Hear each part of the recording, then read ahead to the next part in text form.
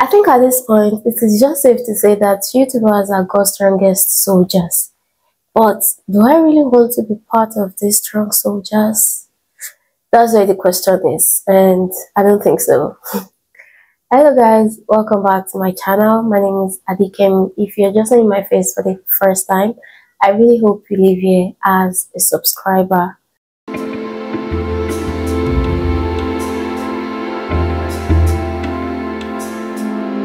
I decided to be serious with my YouTube channel about a couple of months ago and honestly, I'm already tired. And I really feel like YouTube is really not for me, like maybe it's not my thing and I don't know what to do. So in this video, I'm going to be talking about my mistakes, my experience and every other thing that surrounds my YouTube journey. This video is not to discourage anyone from starting a YouTube channel. Neither is it to like encourage anyone, to be honest. I think you should just do with it anything you really want. So like I said, last year, November, I think, I, maybe late November to December, I started posting video. So I started with short videos and it was mainly beauty niche, let's let me say makeup. So and I started getting one to two subscribers. The shorts were doing really, really well. And I was super, super happy about it because from one shot I could get 400 and something views, 2k views that it is really hard to get if you're posting a long form video. So but then I knew I was not going to be consistent with the makeup thing because I was also learning how to do my home makeup and but then I just wanted to share the things I was learning to other people. So after posting a couple of short video, I transitioned to posting longer form videos. And this is the beginning of the struggle. So the longer form videos, I posted one makeup video and that one also did well. Maybe it had like 200 to 300 views.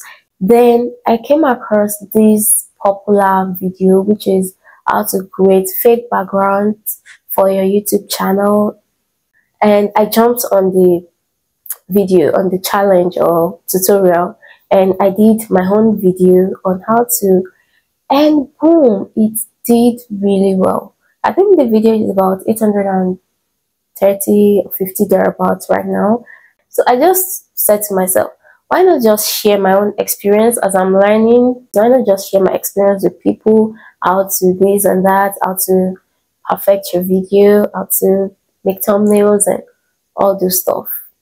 I told myself. And I started making video towards that niche another problem. Then the next video I made, maybe it did like 70 or something. I was sad. But honestly, when I started my channel, I knew I was not going to get the views and even the subscriber immediately. But I don't know, maybe it's because of other creatives I saw and their channel were doing well. Maybe that is that was why I felt bad. I honestly don't know. So I just said to myself, okay, maybe I should try another video. Then I made another video relating to video making, video editing skills and the views were still low. Then I started thinking, I started, you know, getting worried about the things I'm doing, if I'm doing it right or not. I downloaded um, some soft SEO software just to really know where I'm getting it wrong. Maybe it's the tags, the keywords, titles, descriptions, you know, all these things. I'm doing everything. And at the end of the day, even sometimes this SEO will tell me to like change my title to something else and I'll do and the video will like get views in like an hour and back to normal. So I don't know if you're a creative and you're watching this, I really want you to like advise me on what to do and what not to do yeah niche niche niche niche i don't even know if it is niche or niche you know, before I started my YouTube journey, I watched a lot of videos, which I still do do. So I watched so many videos. Some videos where like you have to have a niche, and some videos are just talking about you don't need a niche as a starter. I started with no niche, to be honest. I just wanted to like try so many things out, and when I really get what I really want, then just stick with it. But I think at this point, it's not really working for me. If I really had a niche in mind, I wouldn't have followed the popular video, even if the numbers were doing well, I wouldn't have followed it. So I think not having a niche has really affected my channel. The next thing is I think I need an accountability partner. I have a friend, a YouTube friend, a friend that I met on YouTube, and her name is Bidemi. And I'm very sure she will be watching this video sooner or later and she was posting video like back to back so she was like motivating me in a way to post more videos for my channel but Bidemi, where are you? She has not posted video in like a week. So if you're watching this video, I'm talking to you. Having an accountability partner, I think is important for my channel growth and that is really affecting my channel right now because I do not feel motivated. Maybe because of this setback or something. I really did not feel motivated at this point, to be honest. When you see other creators doing, making videos, you sit down and be like, oh yeah, I can do something like this. But honestly, they put in a lot and lot of work behind the scenes. It's not just about sitting down. It is about planning before you even sit down. There are some things you you think in your head before you see camera, I'm really sorry for the noise, before you see camera and they make sense, and once you see camera, everything is gone. Like everything is I'm planning that, they are really making sense in my head.